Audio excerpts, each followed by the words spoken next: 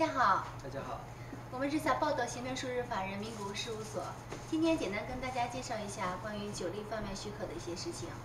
酒类贩卖许可中有一个是通信贩卖酒类零售业的许可，那么这个许可到底是什么呢？呃，首先我先解释一下什么叫做通信贩卖。所谓通信贩卖，指的是你在网上公布你的产品的信息、它的价格，然后通过邮寄或者电话的方式接受订单，然后这样的一个贩卖形式被称之为通信贩卖。那如果你用这个形式来贩卖酒类的话呢，那我们就称之为叫通信贩卖酒类零售业许可。原来是这样的。如果想要参加在网上的拍卖，嗯，想要卖酒的话，那么这个许可是需要的吗？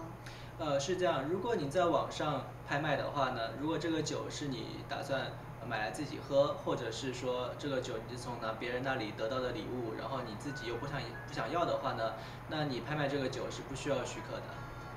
明白了。那么谢谢关，谢谢大家的关注。再见。再见。